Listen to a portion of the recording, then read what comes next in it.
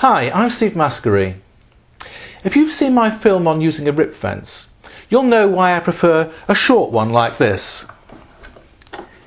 It allows me to have plenty of clearance as soon as the cut is complete, and that reduces the risk of kickback. And by having this narrow lip on it here, it means I've got room to get a push stick in there, even when I'm machining quite narrow stock. But there does come a point when I'm machining very narrow stock where even this isn't sufficient. By very narrow, I mean maybe just a few millimetres, such as I might want if I'm cutting laminates for a curved chair leg, for example. In that situation, I much rather have the thin piece on the outside of the saw blade where it can fall away harmlessly. That leaves me with the waste between the blade and the rip fence, and because it's a bigger piece of wood, I've got much better control over that with my push stick. I have a setting gauge which enables me to ensure that all those laminates are the same thickness. I set it to 5mm and then just put it in the track of my saw table. I can then put my workpiece up against the setting gauge and the fence goes up against the stock that I'm going to use. I can then remove the jig. I do need to set the rip fence so that it finishes just slightly forward of the last cutting tooth. Lock that off. And then use my feather board to apply pressure just in front of the blade. And now I'm ready to make the cut.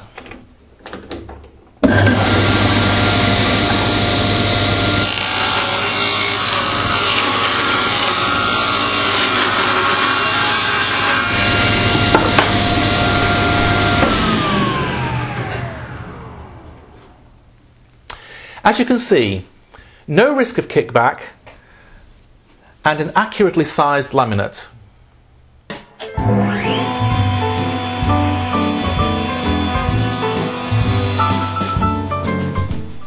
The first step in making this is to route a groove for the scale.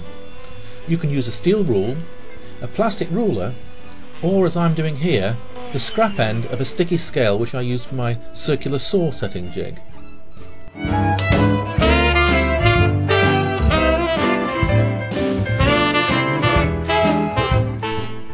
The head is just fabricated from some scraps, in this case of maple, and the arm itself acts as a spacer while clamping, but don't forget to remove it before any glue squeeze out sets it all rock solid. The head will be trimmed to size once it's all glued together. The clamping bar has a nut pulled in underneath, and there is a bigger, shallow hole to take a plastic pressure pad. This prevents the screw from chewing up the scale.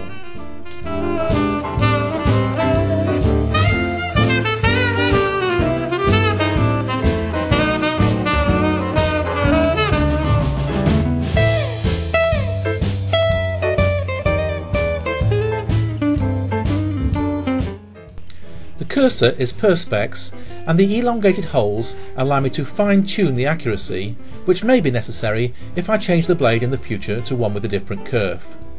It must be mounted scratch side down.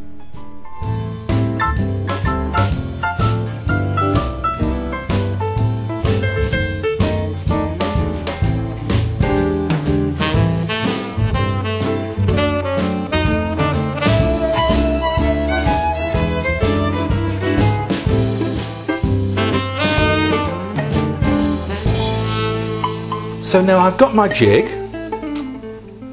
I've glued a block at this end on the underside of the arm so that it's level with the head of the jig over here.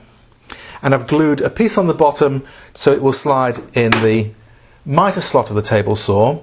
And I've set it so that it reads exactly zero.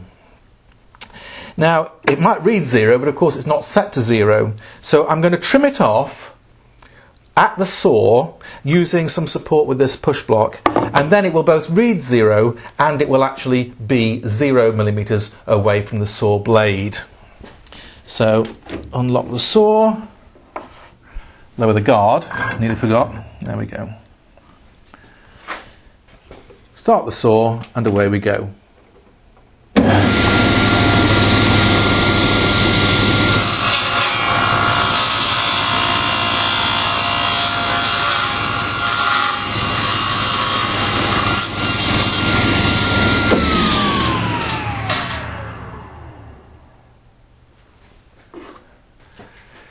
This setting gauge is now ready to use.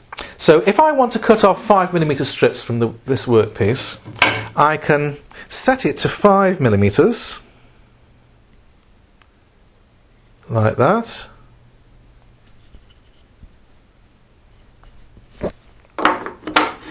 And put it in the track. And then I put my workpiece up to the setting gauge and the fence up to the workpiece. Now I'm pulling the fence towards me so that when I lock it off, it doesn't suddenly kick over. It stays nice and square. There we go. Any play? No play at all. That's just perfect. Get rid of the setting gauge for a moment. So now I'm ready to make my cut. Not quite. I need a feather board. There we go. Put that there.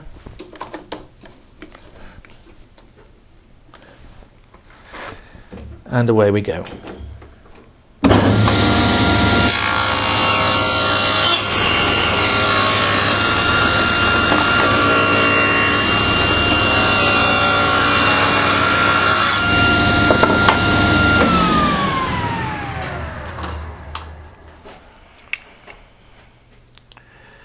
Now I set that to 5 millimeters and that measures five millimeters. Absolutely perfect. And to cut in some more, I simply repeat the process. Put the setting jig back in, move that for a moment, put the setting jig back in, stock up to the setting jig, remove the setting jig.